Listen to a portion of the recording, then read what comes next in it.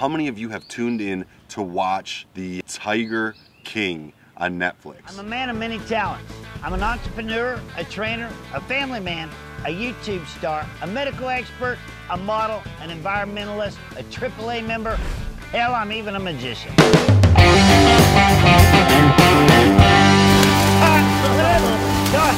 Until my last dying breath, we're gonna take care of animals and blow shit up. Today is going to be a great day because we are taking you to somewhere really cool.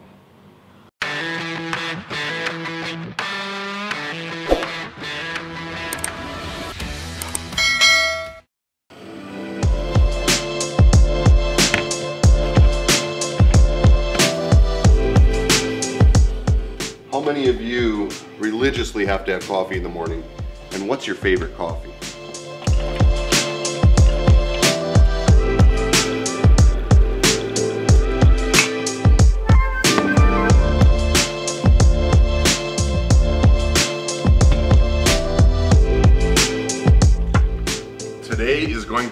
Great day because we are taking you to somewhere really cool.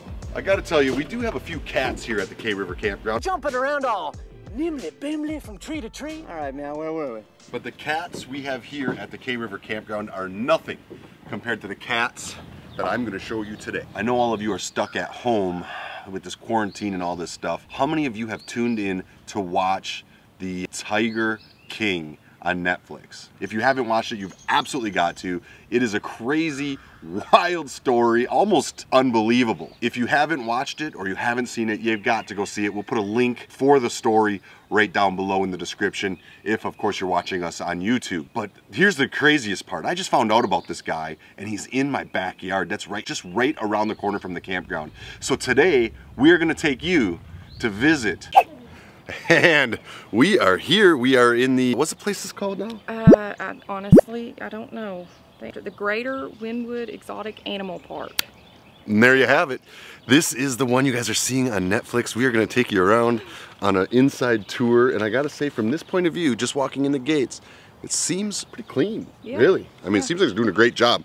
I don't know where it came or it went. So for those of you that don't know, the gentleman who built this thing is in prison right now. Went to prison like last year for putting a hit on a lady who was trying to shut this thing down. Right. That's Yeah. crazy. It's crazy, crazy, crazy. The, the story here is crazy, and and he might be even a little bit. I mean, have y'all seen him? Joe Exotic for the people of America. How's that? They have Muscovy ducks, just like the Koo River, and they have a goose, just like the Koo River. But look at their goose. That is like a, I don't know. Oh, listen to that. Oh, you talking to me, partner? So we got miniature horses, we got pigs, we got goats, we got what are those emus over there? And who's that guy peeking out of the door? You hear that? It's like a drum. We got tortoises. Those ones in the back there. What the hell's going on? Yeah, I'm not really sure what they're doing. Hey, what's going on there, fellas? I'm gonna need you to slow it down. we got cougars. We've got lemurs.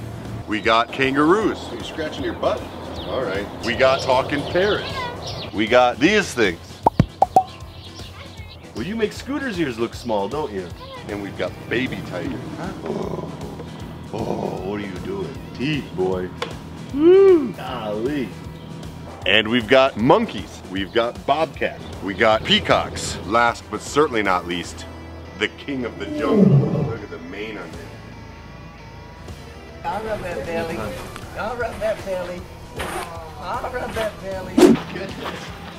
Hey there, handsome. Mm. Oh. So I guess as the story goes, they were big on breeding these younger ones and selling them or something like that. It- it's- they got puppy teeth, you know. It's just short. They don't bite hard. So this is kind of the look, you guys. Some sort of a fox. It looks like tiger, tiger, tiger, tiger, baby tigers. Mmm, that looks delicious. All right, guys, dinner served. There's more tigers behind this cage. A couple of them in here.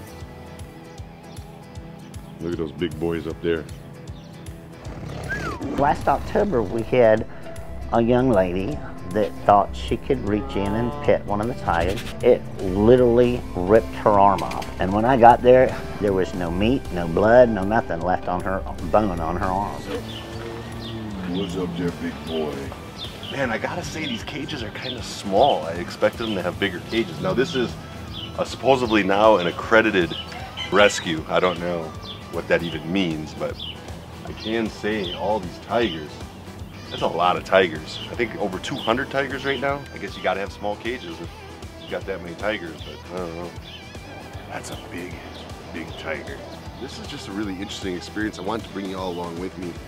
I can't believe the story and the craziness that goes on around this. The sheriff says he's now spoken to witnesses about what led up to the shooting of Joe Exotic's husband here at the GW Exotic Animal Park on Friday. 911. Yes, I need an I need an ambulance to the GW Exotic Animal Park now. This is something that I've always liked. I don't know if you all know, but years ago I used to volunteer at a big cat rescue in Florida, not the big cat rescue, one down in Naples.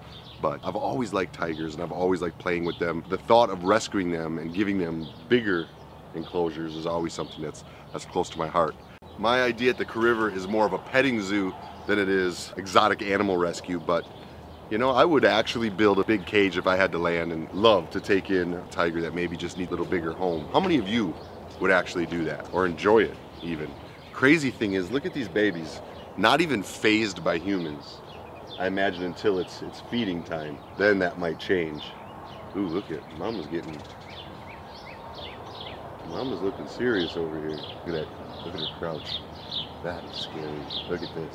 I thought she was gonna pounce. What I think is really cool is how close you can get to them. I mean, what are we, two feet away? That's pretty awesome.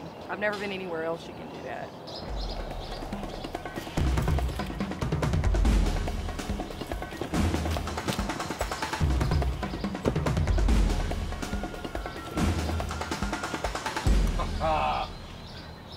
Stumped you. So back in the day, when I used to volunteer at a big cat rescue, spent time there, I was friends with the owner. At night, we used to ride our mountain bikes along the cages. Now his cages, one cage would be as big as this whole stretch.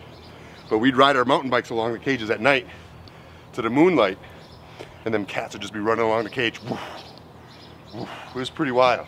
This is 10 acres. That was Okay. 50 acres. All the cages are much, much bigger. Very cool. Very cool. When are you gonna have that done? We're working on it All right. every day.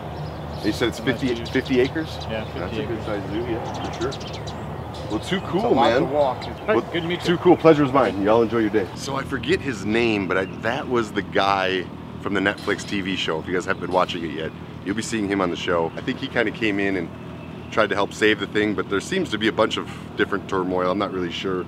So many twists in this TV series, but apparently he's still here and he's got it running, so that's cool.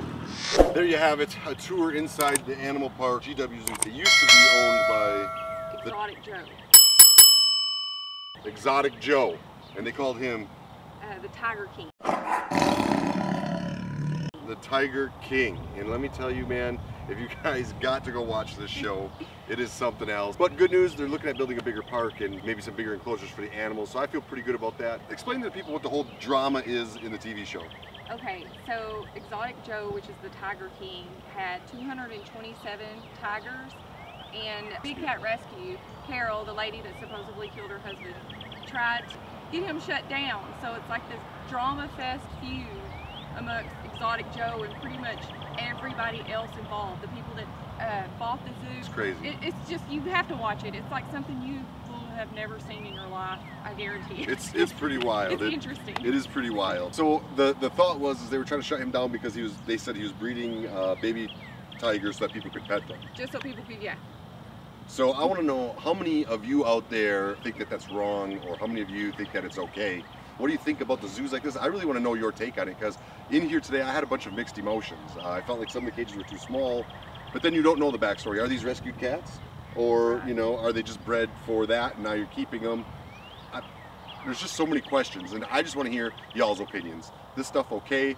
Should this stuff not be done? But they say they're building a bigger zoo behind the WinStar Casino in Oklahoma, and they're supposed to have bigger runs and everything else. So that makes me feel good. But uh, you know, some mixed emotions. I love my animals. I love to have animals. I love to take care of animals. I love to help animals. You should have seen the mother sheep that we first got Oh, when we got her.